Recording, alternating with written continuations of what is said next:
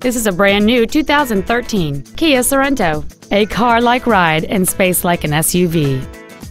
It has a 3.5-liter six-cylinder engine, a six-speed automatic transmission, and four-wheel drive.